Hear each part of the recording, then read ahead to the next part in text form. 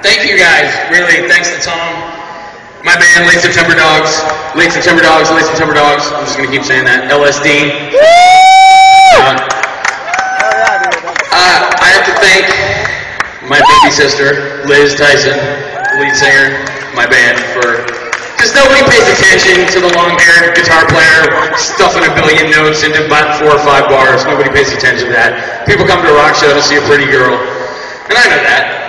And so I really appreciate this. I want to thank all you guys who paid to buy tickets to come here and support your friends in their bands and who come out to shows and buy tickets to see your band, to see your friends' bands for the zillionth time, and they're crappy, the other bands that they're opening for, and you guys, the guys that support the bands are the reason that we still do this, so Thank you guys so much.